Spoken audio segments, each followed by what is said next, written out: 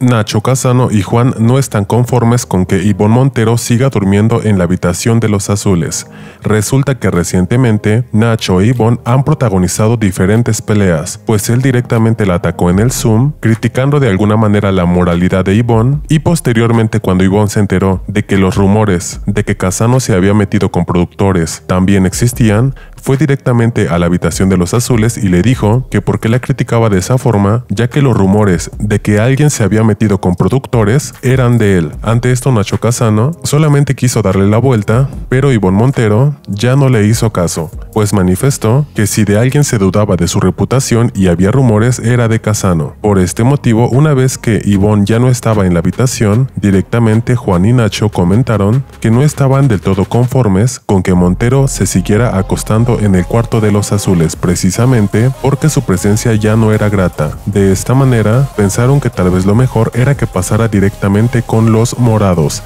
en donde Laura Bozo en diferentes ocasiones la ha atacado fuertemente. Y Nacho y Juan declararon que de cualquier forma Montero ya prácticamente no estaba en el cuarto azul, solamente iba a dormir, así que tal vez lo mejor sería que por decisión propia saliera de esa habitación. Y recordemos que en el pasado fue el propio Nacho quien al percatarse de que Montero no tenía una fidelidad con los azules, había dicho en el pasado esto mismo, que tal vez tendrían que sacarla de la habitación, pero hasta ahora, tal vez al percatarse de que los morados se solidarizaron con Yvonne, no la ha de la misma forma que cuando la tenía en el Zoom, pues incluso la misma Laura, Cervoni y Daniela, tal parece que no permitirán que Nacho Casano vuelva a hablarle así a una mujer en la casa. Así que dime tú qué opinas de todo esto. Déjame tu opinión en los comentarios y por supuesto suscríbete para más videos.